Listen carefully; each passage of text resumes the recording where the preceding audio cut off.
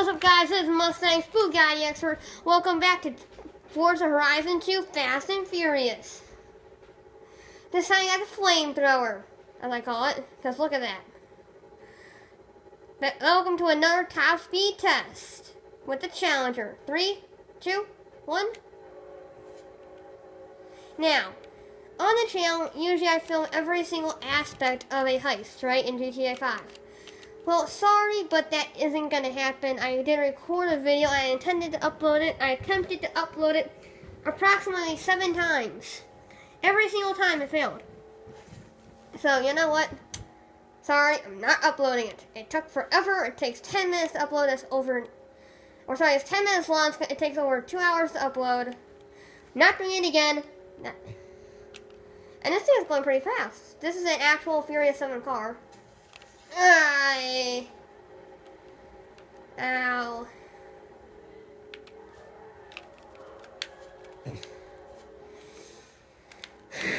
Not very fast, actually. You think the Challenger would have improved? I mean, really. The last one did what? 217? The first uh, 1970s version? Come on, Dodge, make up your mind. Now, I must admit, it is a little bit more balanced. So, yeah, top speed around 170 for the Challenger. Not bad, not bad. It's, it's in sports car territory, which I guess is pretty good for a muscle car. But yeah. Um,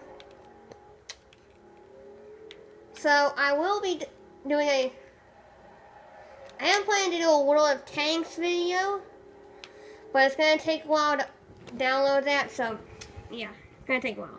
Next up, we have the 2015 Charger, which is sadly not a Hellcat. Everyone was expecting it to be a Hellcat, but it's not. Three, two, one. A Hellcat will not have a second gear of 47 miles per hour. And would not go 100 miles an hour in fifth gear. So, Dodge has sort of been letting me down a little bit. I mean, the Charger, the 70s Charger is nice because it has 900 horsepower. But all the other cars in the expansion from Dodge, uh, they sort of aren't the best. I mean, they're fast, but they suck at accelerating. I mean, look. We just reached 180 at the end of the line. That's sort of sad. I mean, trust me, I'd pick this car over like a Prius or something. Fiesta or something like that. But truthfully, I do not like the car very much. I believe they should have stuck to their older roots and not have made a muscle sedan, as I call them. Because, see, Dodge likes to make muscle cars into sedans. Look at the Dart. The Dart used to be a, in my mind, a cool looking muscle car. And then they turn it, they didn't turn it into a muscle sedan like this. They turned it into a sedan. A fully fledged sedan that got beat by a Focus. Not an ST, just a Focus. And it was the rally version, the civilian rally version of the, um, whatever it's called, the Dart. The reason they call it the Dart too is because they completely, completely redesigned the car. And I don't like the redesign. I also like don't like the redesign of this car, but you know, whatever sells, sells, I guess. I guess Dodge only won one muscle car. Time for our final candidate. This is the last speed run on the franchise, unless you guys say do more. And this is a McLaren P1. Three, two, one. At the back blast when I get it.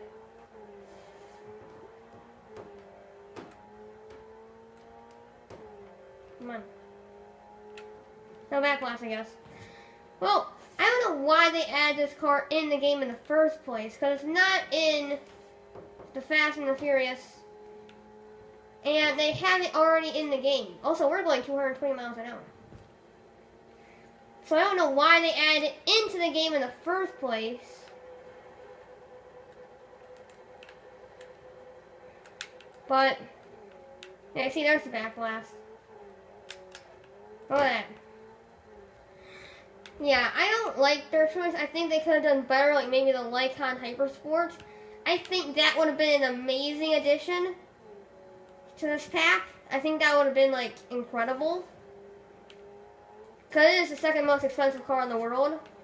But why they decided to add it, I why they decided not to add it, I don't know. Maybe there's a logical reason. But for now, I just think they were lazy and they're like, what car should we include in here? Because we don't want to do anything else.